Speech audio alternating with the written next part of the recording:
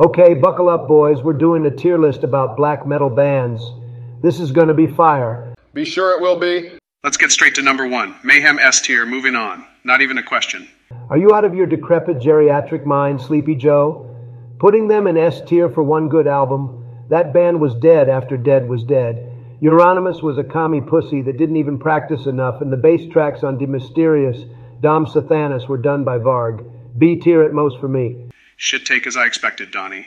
Euronymous was the original black metal riffmeister alongside Snorri. Hellhammer is the best black metal drummer, and Attila was always a great fit for Mayhem. Got to agree with Joe on this one. Chimera and Ordo Ad Chao are straight up bangers. Put them in A, Donnie. Remember when I spared you from that drone attack when you were in that church? Fair enough, let's settle for A then. Now let's talk about my boy, Varg.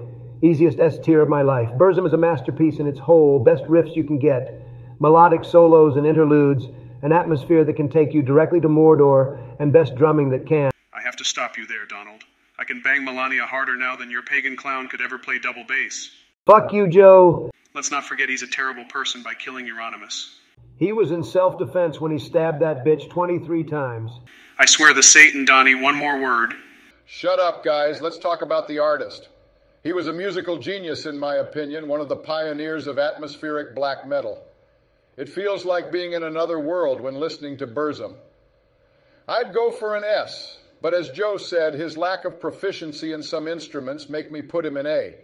Whatever, I don't even know why I'm not kicking both of you out. You better not screw the next one, which is dissection.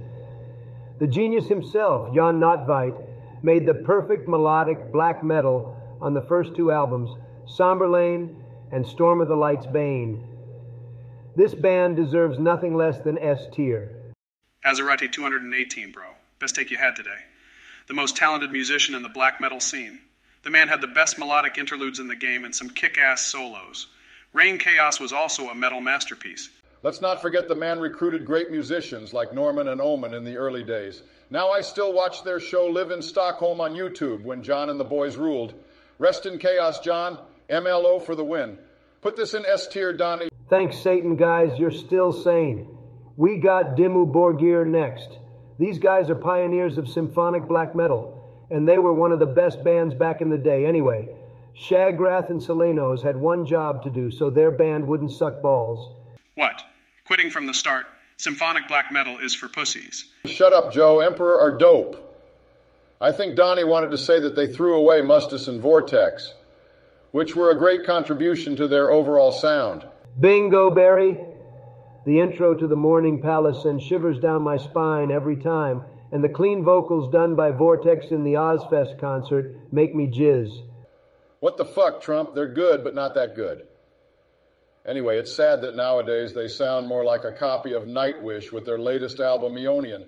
Enough with this malarkey. Where should we put this in C? Nah, that would be too harsh. I'd go for a B. Good enough for me. What do we got next?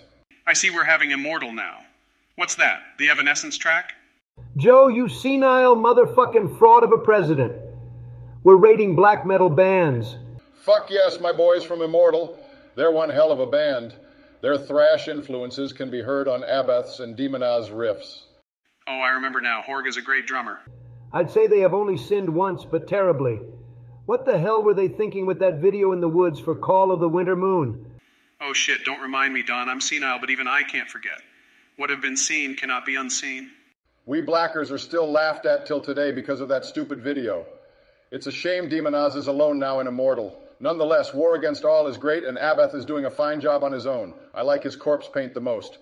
Okay, putting this in a tier for the kick ass riffs. Emperor's next. Oh shit, guys. Gotta go. Michelle got home. See you later. Fucking pussy. Hey, Donnie, want to burn some churches? Nah, better next time I'll be playing some golf in the woods with the wolves. Ciao, Joe. Oh, fuck. What do I do now? By the way, what do you guys think? Who should be in S tier?